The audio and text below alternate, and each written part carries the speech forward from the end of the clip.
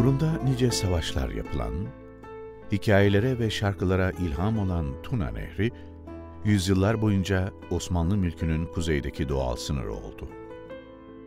Belgrad'ın yanı başında Sava Nehri ile birleşerek gücüne güç katan Tuna, döne kıvrıla uzun bir yolu takip ederek önce Karadeniz'e, oradan da Boğaz'ı geçerek imparatorluğun başkenti İstanbul'a ulaşırdı.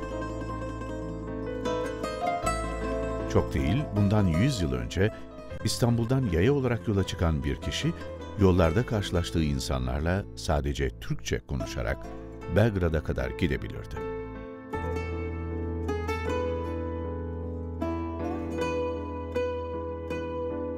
Farklı etnik kökenlere ve farklı dinlere mensup Balkan halkları, 5 asır boyunca Osmanlı İmparatorluğu'nun sınırları içinde ortak yaşamlar sürdü. 19. yüzyılda yani hemen hemen Türkçe konuşmayan insan yoktu. Türkçe anlamayan insan yoktu. Çünkü e, bizim e, dilimizde özellikle Bosna Hersek'te e, 8 bine kadar Türkçe kelimeler vardı. E, bu kelimelerle insanlar yani normal hayata yani birbirini anlayabilirlerdi. E, şimdi e, durum tabii farklıdır. E, biz yani o kadar Türkçe konuşmuyoruz, anlamıyoruz. Ama yani e, Türkçe kökenli e, çok kelimeler kaldı. Ben mesela çocukluğumda yani farkında olmadan çok Türkçe kelimeler kullandım tabii yani hepimiz gibi. Mesela yastık, yorgan, çorap, işte normal hayatta kullandığımız e, kelimeler yani bizim bize çok normal geldi. Kahve, şeker. Kahve, şeker, evet kahvehane mesela. Öyle yani özellikle yani yaşlı kadınlardan, e, yaşlı insanlardan yani bu kelimeleri öğrenebilirdik yani çocukluğumuzda.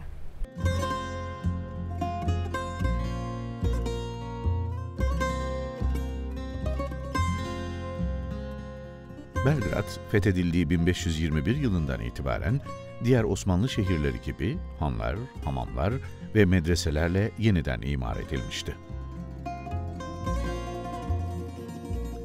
Evliya Çelebi'nin yazdığına göre 17. yüzyılda Belgrad'da 217 cami vardı.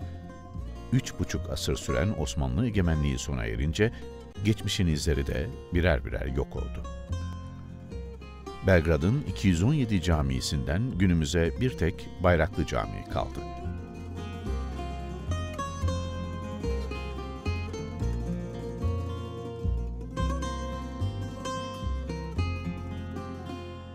Zaman ve insanın hoyrat eli geride kalan maddi değerleri silip yok etmeye çalışsa da ortak geçmişin ruhu varlığını hep korudu. Tarihçi, edebiyatçı ya da sanatçı pek çok Sırp son yıllarda Balkanların ortak tarihine ve ortak kültürüne ilgi duymaya başladı. Belgrad Üniversitesi Türkoloji Bölümü öğretim üyesi doçent doktor Mirjana Barinković de diğer bilim insanları gibi Türklerle Sırpların ortak dillerini araştırarak yeni kuşaklara aktarmayı kendine görev edindi.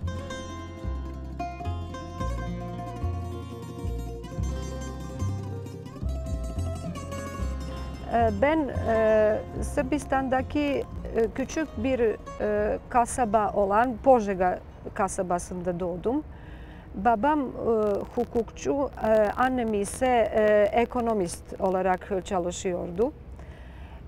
Ailemde Türkçe konuşan, Türk dünyasını yakından bilen ya da Müslüman olan üyelerimiz yoktu. Ama ben e, her zaman yani çocukken bile yani diğer kültürlerle e, tanışmak istiyordum. E, yabancı dilleri öğrenmek istiyordum. E, farklı insanlarla tanışmak istiyordum. Bu yüzden belki e, ben e, Doğu dünyasıyla tanışmak istiyordum ve e, Oriental Filoloji bölümüne yazılmaya karar verdim. E, Ben e, hem Türkçe hem Arapça okumaya başladım. Ama e, Türkçe e, benim birinci sevgim idi.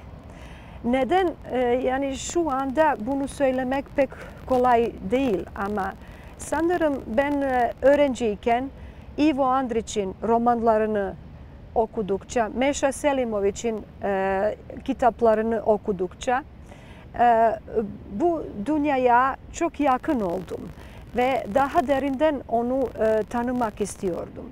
Bu yüzden e, e, Türk tarafından gelen her şey bana çok yakın e, geliyordu ve çok ilginç, ilginç geldi gerçekten.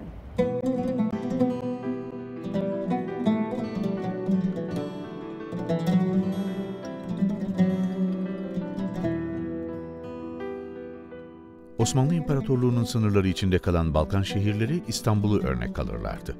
Mimariden sanata, mutfak kültüründen giyim kuşama, sosyal hayatın pek çok alanı imparatorluk içinde birbirinden etkilenirdi.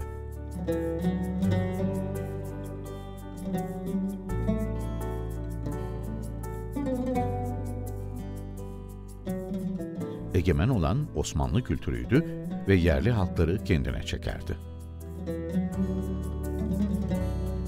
Sırplar veya Balkan nüfusları yani Müslüman nüfuslarına yani şey benzemeye çalışıyorlardı. Bu yüzden kıyafetleri falan e, geleneklerini, adetlerini e, mesela ev içlerini e, benimsediler. Bu pek doğal bir şey çünkü biz yani ortak e, yaşıyorduk ve e, sürekli olarak e, aramızda e, bir kültür alışverişi vardı. Biz bir şey verdik, biz bir şey kabul, et, e, kabul ettik yani Osmanlılardan. Mesela yani önemli olan e, burada Osmanlılar sadece e, bize yani vermemişler. Bazı şeyler bizden almışlar. Mesela hukuk alanında. Mesela yani şey bazı sancaklarda bazı sancakları idare etmek için yani eski geleneklerimizi, eski kanunlarımızı benimsediler. Bu yüzden daha kolay, daha rahat bir şekilde idare edebilirlerdi.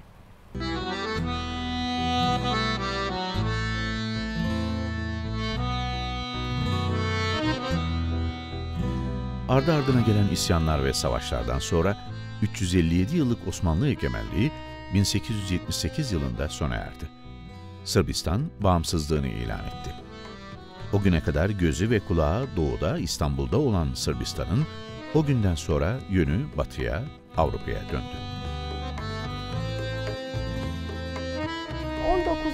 yüzyılda e, bütün Sırbistan, e, bütün aydınlarımız e, yani Avrupa'ya yönelmeye başladılar.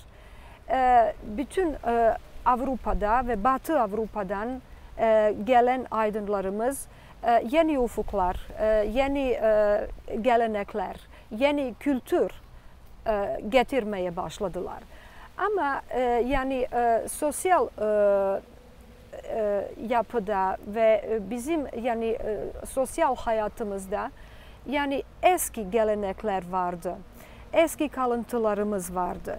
Bu Sırp kültürüne Osmanlı damgası çok kuvvetlidir. Ve bütün Balkan kültürüne Osmanlı damgası var. Ve bu damga e, pek kolay silinmez. E, şimdi bile biz yani e, biraz yani yarı yoldayız. Batı ve doğu arasındayız.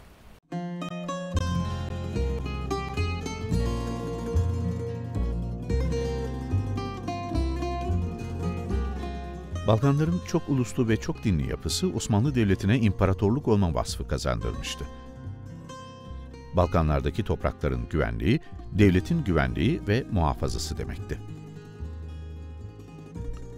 Ülkenin kuzey sınırında bulunan Belgrad Kalesi, stratejik konumuyla ileri karakol vazifesi görüyordu. Avrupa'ya ve Macaristan'a yapılan seferlerde önemli bir üs olurken, düşman hücumlarına karşı korunaklı bir savunma yeriydi. Geçmişte beylere, krallara ve sultanlara ev sahipliği yapan Belgrad Kalesi, Günümüzde gezginlerin gözde mekanı. Adı da tıpkı Osmanlı dönemindeki gibi Kale Meydanı.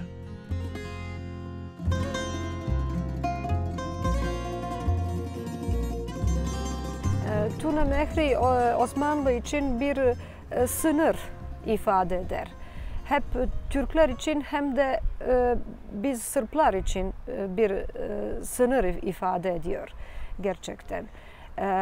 Bulunduğumuz yer bu kale meydan sembol sembolik olarak yani bu sınırı gösteriyor.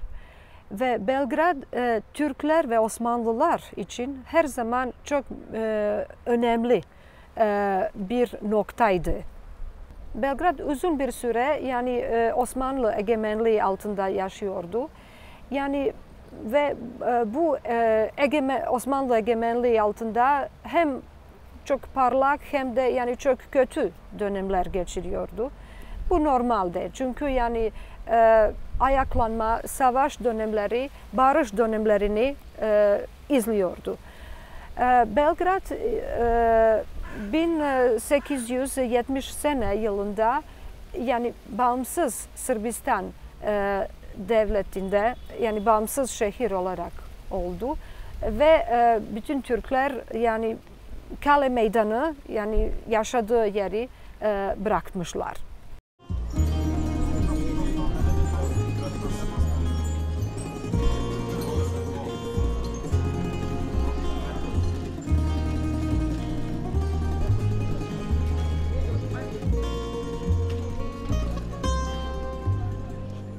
Balkan savaşlarından sonra bütün Balkanlarda e, durumlar çok fenaydı.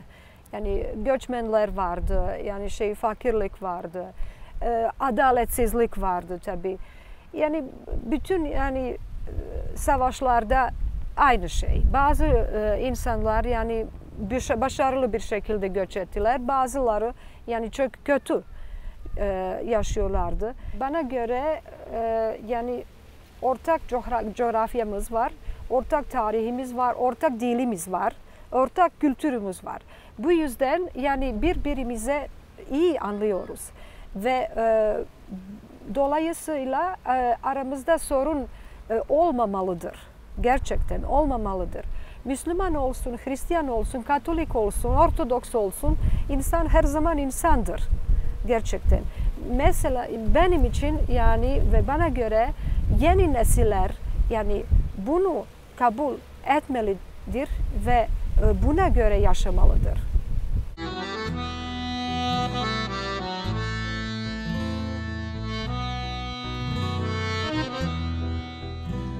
Tuna, toprağın koynunda akan bir sudan ibaret değildi. Etrafında hayat süren insanların gönüllerinden de akardı. Türkler içinde acı tatlı hatıralar deniziydi Tuna Nehri.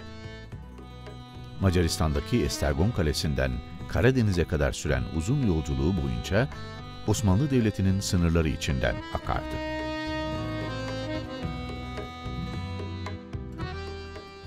Kıyısında son defa abdest alan Osmanlı askerinin İstanbul'a doğru yola çıkmasından bu yana hayli zaman geçti. Türkler Tuna boylarına veda ettiğinde geride Allah'a emanet insanlar bıraktı. Elhamdülillahi Rabbil Alemin.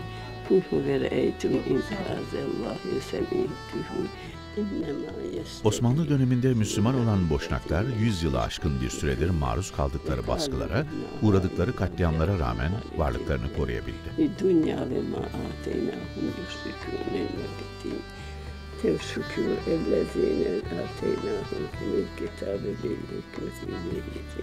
Dünya ve ma ateynahum yusrikûne tevşükû ellezîne ateynahum fil kitabı bil hikmeti Kulde innallahu vellezî ceale leküm innâ gülbâdîs. Tevşükû ellezîne 1912 yılında İşkodralı ustaların Osmanlı mimarisi tarzında inşa ettikleri evinde bir asra yakın ömür süren Nafia Şuşeviç, Novi Pazar'da ayakta kalan Ulu Çınarlar'dan.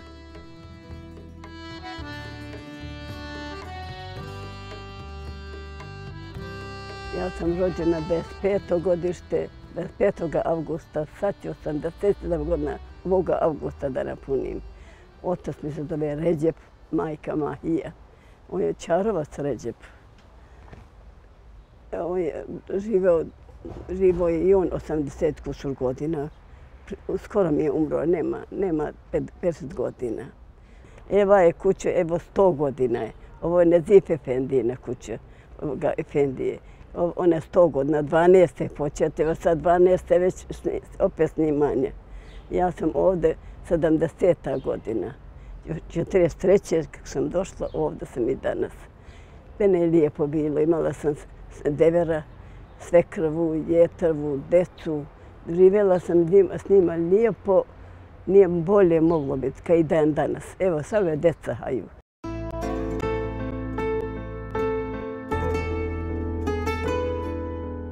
Sultan II. Abdülhamit zamanıydı. Nafia teyzenin kaynanasının babası olan Yakup Buçan Efendi, İstanbul'da Osmanlı hükümetinde sancak mebusuydu.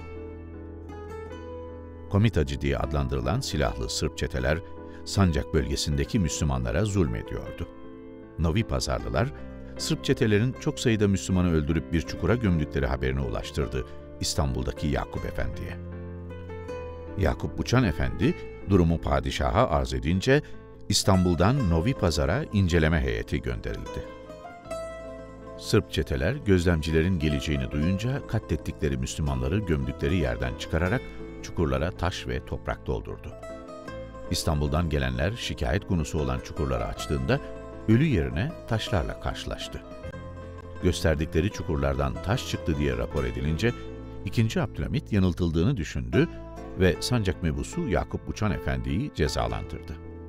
Onu mebusluktan azlederek Konya'ya sürgüne gönderdi. Yakup Buçan Efendi yanlış anlaşılmanın ve sürgüne gönderilmenin kaderine dayanamayıp hayatını kaybetti. Cenazesi Mevlana Camii'nin avlusundaki mezarlığa defnedildi. Yakup Uçan Efendi'nin yetim kalan oğlu Nazif Şuşeviç, babasının ölümünden sonra İstanbul'daki okulunu bitirip Novi Pazar'a döndü. Novi Pazar'daki medrese ve camilerde gönüllü olarak Arapça, Farsça ve din dersleri verdi. Aradan koca bir asır geçti. Yakup Uçan Efendi'nin torunuyla evli olan Nafia Şuşeviç, 2003 yılında Novi Pazar'dan karayoluyla Mekke'ye hacca giden bir kafileye katıldı. Kafile yolları üzerindeki Konya'ya ve Mevlana'nın kabrine ziyarette bulundu. Nafia teyze, 100 yıl önce Mevlana Camii'nin avlusundaki mezarlığa defnedilen Yakup Uçan Efendi için orada hazır bulunanlara bir cenaze namazı daha kıldırdı.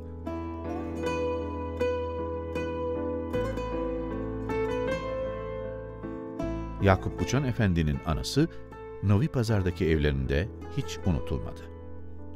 Padişah II. Abdülhamid'in verdiği nişan en değerli manevi mirasları oldu.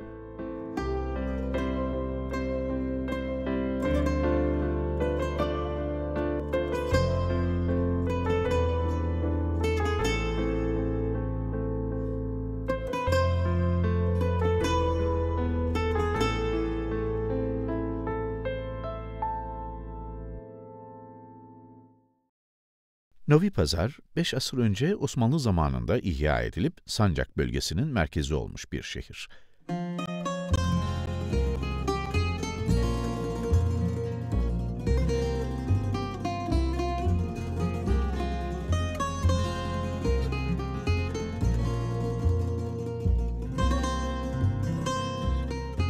Balkan Savaşları'ndan sonra Sırbistan sınırları içinde kalan Novi Pazar'da nüfusun çoğu Boşnak.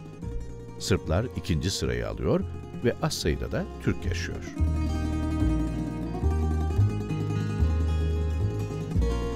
...82 yaşındaki Beytullah Topçu, Novi Pazar'da yaşayan az sayıdaki Türklerden. Babam işlemiş paytoncuklu, arabalar. Onu ile idare olmuşlar.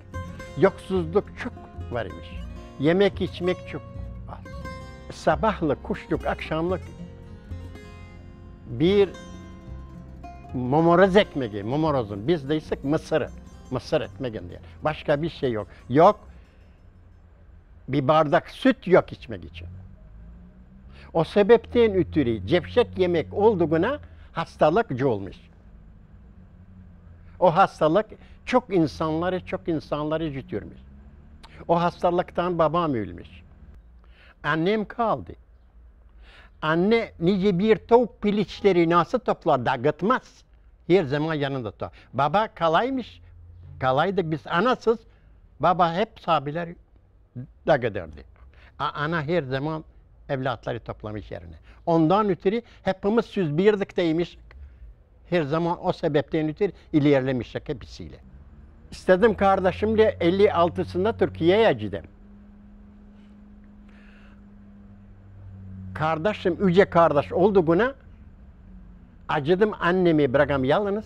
Nice en ufak kardeş acıdım bırakam. Kaldım evde. Ciddi çok insan.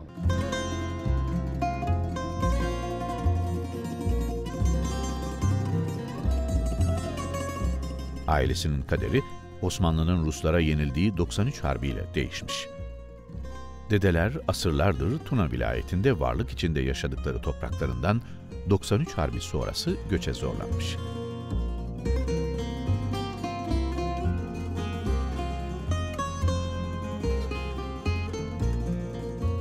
Her şeylerini bırakarak daha güvenlikli buldukları Kosova'nın Prizren şehrine göç etmişler. Yeni topraklarına tutunmaya çalışırken önce Balkan Savaşları felaketi, ardından da Birinci ve İkinci Dünya Savaşları'nın içinde kalmışlar. Yokluk, hastalık, fakirlik yıllar yılı yakalarını bırakmamış. Kendisi de bundan 60 yıl önce 22 yaşındayken Prizren'den Novi Pazar'a göç etmiş. Beytullah amcanın çocukluğundan aklında kalan tek şey yoksulluk. Savaş nerede var orada güzel gün yok. Şu savaş bitiriyor hepsini. Yok nerede olsun. E ondan sonra savaş insanın rahmet yüreğine getiren savaştır. Yoksuzluk, fukaralık. Onda o vakit insanlar yatar yola. 48'li de senenin çıkaydım sabah ver evden gideydim bir degirmeyende ne ügüdü bekleyeyim. Getirecek mi bir kimse ügütsün. Alan bir kilo ekmek, un. Gideyim eve götüreyim. Anam tepsiye bir damla su, bir sıra mamoroz ekmeğini, suyunu, dolu kopri var içini ortada. Yukarıdan da, da biraz kuşluk olduğunu yedik. Allah akşamı bakalım ne veririz. Akşamlı yarı filcan leblebi. Her başa yedik. Yarın yeni gün yeni nafaka. Çuval ayakta boş durmaz. Hasan yesin, içeysin. O vakit takat var, vücut var, her şey var. İşte dertler insanlarda yok insan dertsiz, gaylesiz. Ama bir kimsenin fazla bir kimse. Onun için de mesela her bir evin kendi dumanı var. Ben yanayım benim, sen yanayım senin. Ve kimsenin daha az var, onun var. E ama onlara en çok en çok insana getirir yoksuzluk. Yoksuzluk. Her evin dumanı içinden tüter. Ben yanayım bana, sen yanasın sana. Dertsiz ve gailesiz insan yok. Nerede savaş var, orada güzel gün yok. Balkanların yüz yıllık hikayesini daha nasıl anlatsın Beytullah amca?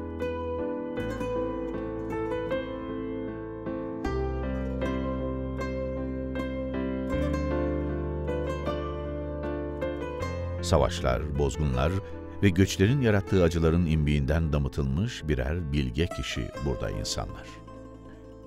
Her şeye rağmen sabrederek, dua ederek yaşadığı yere tutunmaya çalışan insanların hatıraları var dört bir tarafta. Mirjana Marinkovic Hoca ise ortak tarihimiz var. Bu yüzden birbirimizi iyi anlıyoruz.